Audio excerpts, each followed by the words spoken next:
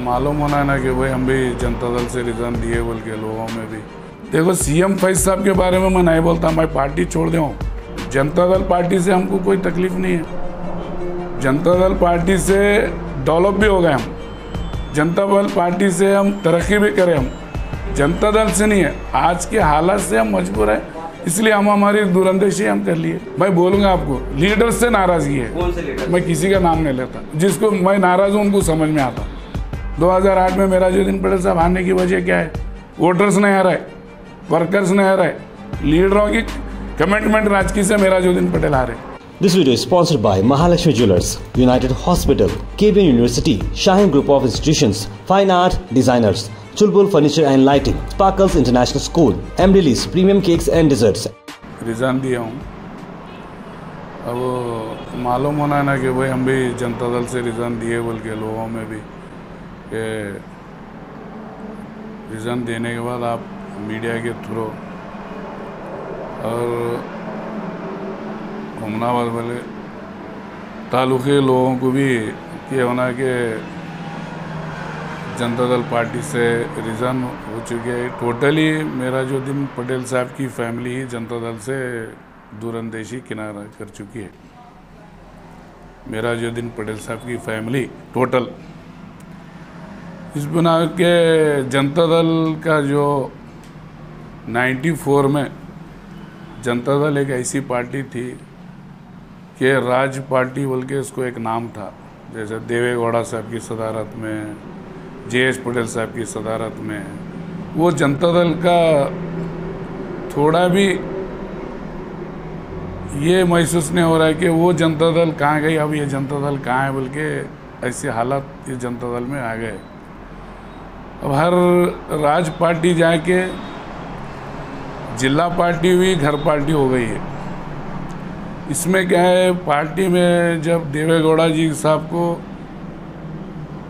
ता हयात तक, उनकी हयात जब तक है, हम उनका शुक्र, उनके एहसान मंद है, जो मेरा जो दिन पटेल को एक स्टेट फॉरवर्ड लीडर बनाए उन्होंने जे एच पटेल साहब, ये लोग सब मेरा जो दिन पटेल को एक अच्छा एक सीनियर लीडर है, एक सोशल एक्टिव लीडर है, सब समाज को लेके चलने वाला एक लीडर है बोल के उनको कर्नाटक का राज्य अध्यक्ष बनाए।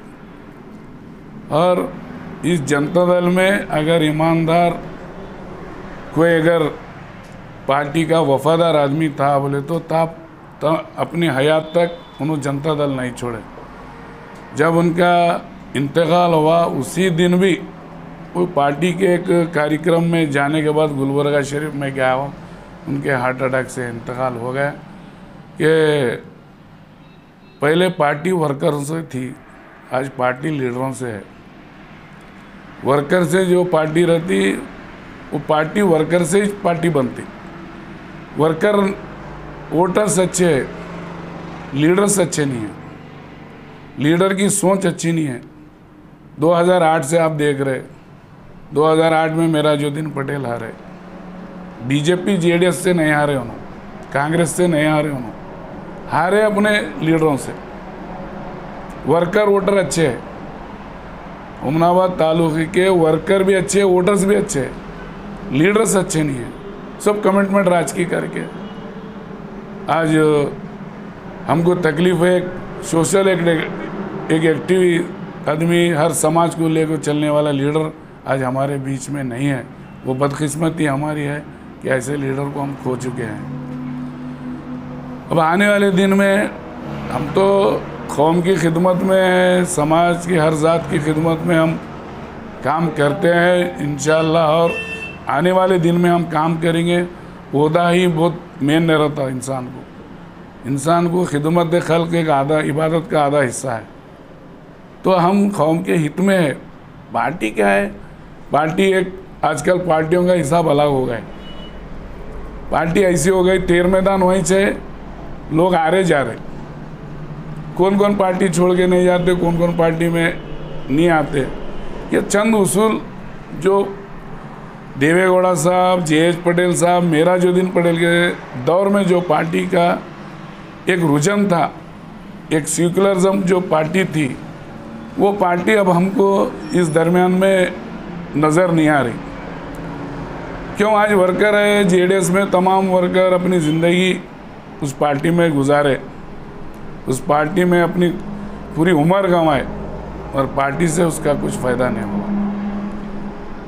2000 मेरा जो दिन पटेल साहब, इंतकाल होने के बाद म्यूनसिपाल्टी काउंसिल में 11 काउंसलर थे जब। चुड़गुप्पा काउंसिल में आठ काउंसलर थे। मेरा जो दिन पटेल साहब के इंतकाल होने के बाद। आज वही काउंसिल में गुने चुने लोग हैं। हर कोई पार्टी के हित में या पार्टी के लीडर के वर्क से वो लोग नहीं जीते। जो भी जेडीएस के काउंसलर जीते, बेचारे अपने व्यक्तिगत, अपना पैसा खर्च करके एक दो या आदमी, यहाँ गोरे भाई है, पाशा मियाँ है, सुरेश सीगी के है तीन काउंसिल के यहाँ है चुड़गुप्पे में दो है अलीखेड़ में एक है। ये लोग अपने पैसा अपने पर्सनालिटी पे अपने व्यक्तिगत पे क्या है चुने। कोई लीडर आए कि उनको? सर एक क्लियर मैसेज दें कि आप क्या रीजन से पार्टी छोड़ रहे हैं? और इन- मतलब एक इंडिकेशन नहीं दे रहे कहीं ना कहीं आप। लीडर्स अच्छे वर्कर्स अच्छे लीडर्स अच्छे नहीं बोल के इंडिकेशन दें। मतलब? मतलब आप बोल रहे हैं ना वर्कर्स अच्छे हैं लीडर्स अच्छे नहीं है बोल के क्लियर एक इंडिकेशन दें बोलो ना फिर क्लियर ही बोलो ना। वर्कर वोटर अच्छे हैं लीडर्सों की वजह से। लीडर्स आज क्या है पार्टी में कोई उतना इमेज नहीं है, किसी को रेस्पॉन्सिबल नहीं है पार्टी में। आज हम 94 से जेडीएस में है। कौन से ऐसे लीडर्स है जो हमारे से सीनियर है? मेरा जो दिन पटेल के घर फैमिली से मेरा जो दिन पटेल के घर से सीनियर कौन लीडर है, ये बताइए आप। सर अब तो एक अच्छा खा- मुस्लिम कायद भी मिल चुका है सीएम फैज साहब के नाम से। तो आप देखो सीएम फैज साहब के बारे में मैं नहीं बोलता मैं पार्टी छोड़ दूँ मैं सीएम फैज के बारे में नहीं बोलूँगा। हालात में हालात में सीएम इब्राहिम साहब आए थे वहाँ पे आप भी बैठे थे प्रेस मीट कर रहे थे। दोनों बोले कि आज मेरे साथ में कौन बोल रहे कि मेराज पटेल की फैमिली साथ में नहीं ये देखो मेराज पटेल के भाई भी हमारे साथ में हैं। तो आप भी बैठे थे जब? देखो- तक तो थे आप क्या हो गया? देखो मैं मैं आपको बात बोलूँ। मैं प्रेस में आपकी बात नहीं करा। शादी में कोई भी आता है बाजुक दूल्हे के बर्थडे बाद दूल्हा थोड़ा ही होता है। दूर में मिले चाय पी रहा हूँ तब मैं गयास भाई मैं प्रेस मीटिंग दे रहा हूँ बोल के थोड़ी बोल सकते। बैठा था बुलाया उन्होंने गया बात करा आया। उसके बाद तो मेरा ऐसा क्या चीज़ हो गई जो दूरी इख्तियार करना पड़? रहा देखो दूरी इख्तियार करना बोल के नहीं आज भी हम जनता दल पार्टी से हमको कोई तकलीफ़ नहीं है। जनता दल पार्टी से डेवलप भी हो गए हम। जनता दल पार्टी से हम तरक्की भी करें हम। जनता दल से नहीं है आज के हालात से हम मजबूर है इसलिए हम हमारी दूरंदेशी हम कर लिए। आखिर ऐसा क्यों हो रहा है कि जब से सीएम इब्राहिम साहब के बेटे सीएम फैज जो हमनाबाद को आए एमएलए इलेक्शन को उठाने के लिए जब से पुराने लीडर्स में जैसे कि अब्दुल रहमान गोरे साहब लो दस्तगीर साहब लो एडवोकेट रामपुरे लो फिर आप, ऐसे बहुत सारे हैं, परवेश पटेल साहब है सारे लोग उनसे दूरी क्यों इख्तियार कर रहे हैं? आपको क्या लगता है? देखो, मैं आपको बोलूँ, मैं जेडीएस का कैंडिडेट के इसमें नहीं था। हाँ गोरे भाई है, सतीश रामपुरे है, परवेश पटेल है, दस्तगीर साहब है, ये लोग 2013 से। 2013 से ये लोग क्या है कैंडिडेट आकांक्षी में थे वो लोग। तेरह में थे, अठारह में थे। उनका हक है, पार्टी में उन्होंने एक पार्टी के लिए काम करे हुए हैं। जो लोग मेहनत करता है, उसकी तो मजदूरी होना ना। पूछे उनसे, उनको कई बार आश्वासन दिए। स्टेट के लीडर बोले कि भाई, तुमको 2013 में नसीम पटेल का काम करो। अठारह में देंगे बोले। अठारह में उन्होंने भी आस रखे बेचारे। अठारह में भी मिलेंगे बोल के। अठारह में भी उनको नहीं मिला। अब वो हाईकमान को उनको मालूम है। हमको क्या मालूम? मैं तो कैंडिडेट की लिस्ट में तो हूँ नहीं। शुरू से आपके मीडिया में बोला हूँ मैं। जिसको भी देते हैं लोकल वाले हैं सीनियर लोग हैं उनको दे उनका काम करेंगे बोल के हम वही बोलते हैं आज भी। आज भी बोले कल भी वही बोले। अब जैसा कि अभी जेडीएस पार्टी के जो अध्यक्ष है सीएम इब्राहिम साहब सीएम इब्राहिम की जगह पे एक टाइम में हुआ करते थे मेराजुद्दीन पटेल साहब। मेराजुद्दीन पटेल साहब का इंतकाल हो गया तो अभी आप लोगों को कोई मेन जो ठहराया जाता था जेडीएस में तो आप लोग ये अ, जिला से भी घर वापसी बोले। घर वापसी के बाद में फिर आपका क्या है? जेडीएस के बाद नहीं जेडीएस के बारे में मैं तो घर से के बाद में क्या स्टैंड रहेगा? मैं आपको अभी बोलूँगा आपको जब मेरा कोई सोच है मैं आने वाले जो भी दिनों में मैं जो भी आगे कदम उठाऊँगा आपके मीडिया के थ्रू ही जाऊँगा मैं। थोड़े बहुत लोगों से हमें सुनने में आ रहा था कि अभी मुजीबुद्दीन पटेल साहब इंडिपेंडेंट इलेक्शन लड़ेंगे नहीं क्या भी लड़ूँगा मैं क्या भी मेरा आगे का जो भी सोच है मेरा एक आने वाले दिन में मैं जो भी स्टेप लेता हूँ आपके थ्रू ही बोलता हूँ। देखो जमहूरियत है। खासकर नाराज़गी की नाराज़गी किससे है? नाराजी किसी से नहीं हम। कुमार स्वामी साहब के साथ में है या देवगौड़ा साहब के साथ में है फिर क्या इब्राहिम साहब के साथ में है सीएम फैज साहब के साथ में देखो या गोरे साहब के साथ में दस्तगीर साहब के आखिर मेन नाराज़गी कहाँ से है? नाराज़गी हमको किसी से भी नहीं है। हमको नाराज़गी जो टाइम जो वक्त आने वाला है वो वक्त से पहले हम हट जाना बोल के चले नाराज़गी किससे भी नहीं मतलब जेडीएस में रह सकते थे आप? नाराज़गी है इसीलिए तो आप जेडीएस अभी आपको बोल रहा हूँ ना चंद लीडरों से हमारी नाराज़गी है। चलने में से कौन मैं बोलूँगा आपको लीडर से नाराज़गी है। कौन से लीडर मैं किसी का नाम नहीं लेता। जिसको मैं नाराज़ हूँ उनको समझ में आता। मैं ये पब्लिक कंफ्यूजन है आप आंसर दे रहे लेकिन पब्लिक को कंफ्यूज में रख रहे फिर क्या मतलब पब्लिक को क्या कंफ्यूज में रख रहे आप क्लियर इंडिकेशन नहीं दे रहे कि कौन लीडर खराब है बोल के आप बोल रहे ना लीडर अच्छे नहीं है बोल के। सुनो लीडर्स ने? कमिटमेंट राज की है यहाँ। कमिटमेंट राज की तरफ़ से हमको तकलीफ़ हुई। 2008 में कमिटमेंट राज की हो गई। नसीम मेराजुद्दीन पटेल साहब क्यों आ रहे? 2008 में मेराजुद्दीन पटेल साहब आने की वजह क्या है? वोटर्स आ है वर्कर्स आ है लीडरों की कमिटमेंट राजकी से मेराजुद्दीन पटेल रहे 2013 में नसीम पटेल क्यों रहे वोटर्स नहीं डाले, चौवालीस हज़ार वोट। हुमनाबाद के लोग तालुके के हर जात वाले वोट डाले। 2018 में क्यों हारे? कई वजह है इसकी। आप नाराज़गी तो नहीं बता रहे किसके भी ऊपर में नाम लेके? तो हम आपको ये सवाल करेंगे कि सीएम इब्राहिम साहब के बेटे सीएम फैज कैसे हैं फिर उमनाबाद में कैंडिडेट के लिए? अच्छे खूबसूरत है। खूबसूरत। हम्म, खूबसूरत है अच्छे हैंडसम है खूबसूरत है। अच्छे स्पोकर है। अच्छे बात करने का अंदाज है उनके पास। तो अगर वो जीत पाएँगे तो उमनाबाद के लिए कुछ नहीं जीत पाए ना आप मुझे क्या बोले?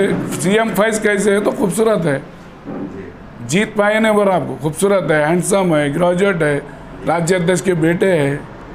फिर उससे ज़्यादा और कितनी खूबसूरती रहेंगी? तो खूब- खूबसूरती से तो आवाम की अ, ये पूरे नहीं होंगे ना? क्या?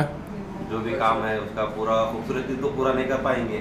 अब देखो आवाम को खूबसूरती को देख के वोट डालती या काम को देख के वोट डालती वो मुझे नहीं मालूम।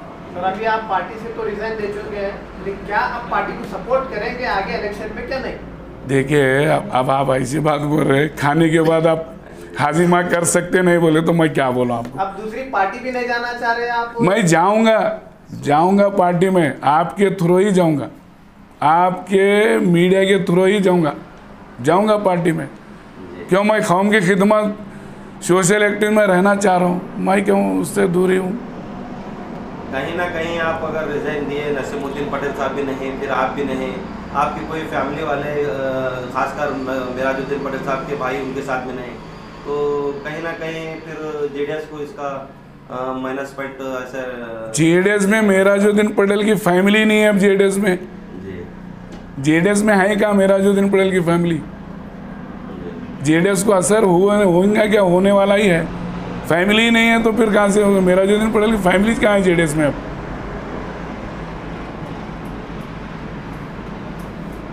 देखिए ये अगर सीएम फैज साहब के पास में थोड़ा देखने में आ रहा है कि हम भी मेराज पटेल के सगे हैं बोल के थोड़ा वहाँ पे भी ऐसा लोगों में ऐसा दिख के आ रहा है कि मेराज पटेल के तो सगे हैं भतीजे हैं ऐसा बोल के वहाँ देखने में आ रहा है। देखिए मेराज पटेल के तो सगे बीदर डिस्ट्रिक्ट से हैदराबाद तक है। बेंगलुरु में है सो नहीं है सो हमको नहीं मालूम। वो मेराज पटेल से रिश्तेदार थे कि हम तो मेराज पटेल की फैमिली से मगर वो डायरेक्ट मेराज पटेल से थे वो नहीं मालूम। हुमनाबाद में हमारे रिश्तेदार बोल सकते हैं हम। रायसुर में है बोल सकते हैं। चुड़गुप्पे में है बोल सकते के रिश्तेदार आपके बहुत सारे उनके साथ में भी जुड़ गए हैं देखो किसकी मर्ज़ी है? जमहूरियत है सियासत है कौन कहीं भी जा सकता है। अभी नसीम पटेल आम आदमी में है। मैं जेडीएस छोड़ दिया। अब मेरा क्या है कि आगे? रिश्तेदार है वो। सियासत में किसी का रिश्ता नहीं रहता। तो उमनाबाद के आवाम को क्या मैसेज देना चाहिए मैं उमनाथ के आवाम को यही बोलता हूँ कि जो आप लोग मेराजुद्दीन पटेल की बाय हयात में एक ग्राम पंचायत लेवल के एक आदमी को उमनाबाद के तमाम सर्व धर्म जात के लोग जो मेराज पटेल को एक स्टेट में एक स्टेट फॉरवर्ड लीडर बनाए, आप तमाम हुमनाबाद की आवाम का हम तय दिल से उनका शुक्रिया अदा करते हैं और तमाम अमनाबाद की हर जात की आवाम के साथ ता हयात तक हम उनकी खिदमत में रहेंगे। इन हमको उहदे की आस नहीं है। उहदा अल्लाह सौंप दिया। यही वोटर्स की मेहरबानी, यही वोटर्स की दुआ से राज्य के मिनिस्टर बने, राज्य अध्यक्ष बने एमएलए बने जडपी अध्यक्ष बने, सब चीज़ बने हम। कोई चीज़ की ख्वाहिश अल्लाह हमको नहीं रखा। अल्लाह ताला, अल्लाह के रसूल के सदक़े से सब लोग मेरा जो दिन पटेल का नाम आज भी, ता क़यामत तक भी वो नाम कायम रहेगा। हर मेरी एक रिक्वेस्ट है नौजवान लोगों से, नौजवान बच्चों से, कोई समाज का होंगे, आप अपने वोट जो बाबा साहब वोट डालने का एक हक दिया आपको, गुप्त वोट दीजिए। आप ये लीडरों के हवाई चक्करों में मत फिरो। लास्ट टाइम वहाँ हादसा हो चुका है यहाँ पे। यहाँ पे कोई पुरसान हाल नहीं था। कई नौजवान जेल के शिकार हो गए। आप एजुकेटेड है तो आपका वोट, आप वोट के दिन जाके डालना। किसी लीडर के पीछे फिरने से अपना फ्यूचर अपना कैरियर ख़त्म मत करना बोल के मैं नौजवान नौजवान बच्चों से बोल रहा हूँ, नौजवान भाइयों से बोल रहा हूँ। आज माहौल ख़राब है। हमारी रोज़ी मुसलमानों की आज क्या हालत है? चंद मुसलमान अच्छे हैं तो गए कोई मुसलमान चाय की होटल ज़िंदगी कर रहा। कोई अपनी तरकारी बेच कर ज़िंदगी कर रहा, कोई अपने फूल। कोई मुसलमान के हित में पूछने वाला है। इलेक्शन आ रहे। आप बोल रहे कोई कुकर बांट रहा तो आप साड़ी बांट रहे वीरभद्रेश्वर का यात्रा मैं तो सत्तर अस्सी साल से तो हमारी उम्र तो पचास साल है। जब कोई लीडर आके दासू नहीं करा, कोई आके मेरा जो दिन पटेल की बा हयात में उन्होंने अपना सालगिरह मनाते थे बेवाओं के लिए चश्मा, यानी खून का हत्या देने का एक कार्यक्रम रहता था। राजकीय के वास्ते लोग को मालूम है आज। लोग क्या बोल रहे कौन हमारे लोग? अल्लाह का करम है कि किसी की ज़िंदगी में कोई गरीबी है क्या? कोई आदमी एक खेत का काम करने वाला अपनी मियाँ, अपने माँ बाप को खुश करने के लिए क्या तो मिर्ची रोटी खा के तो अपनी ज़िंदगी बसर कर रहा? लोगों को मालूम है। लोग समझ रहे, इलेक्शन आया, सब पढ़ते इलेक्शन में भगवान याद आते, गुड़िया याद आते, दरगाहें याद आते, मस्जिद सब याद आते। लोग साहिब समझ है, आज हमारी young generation online mass WhatsApp Facebook पे आज हमारी जनरेशन बहुत होशियार हो गई। लीडर लोग समझ रहे लो, लोग होशियार नहीं है आपसे ज़्यादा होशियार है लोग। वोट डालने का उनके पास सोच समझ है आज। तो इसलिए हम बोल रहे हैं कि लोगों को गुमराह मत करो। अपने मफाद के लिए आप राजकीय मिसयूज़ मत करो। आप लीडर बन रहे आप रहनुमा बन रहे तो दिल से आप उनकी खिदमत करो दिल से उनका काम करो अल्लाह और अल्लाह के रसूल भी उसको खुश होते हैं This video is sponsored by Mahalakshmi Jewelers, United Hospital, KBN University, Shaheen Group of Institutions, Fine Art Designers, Chulbul Furniture and Lighting, Sparkles International School, Emrilis Premium Cakes and Desserts,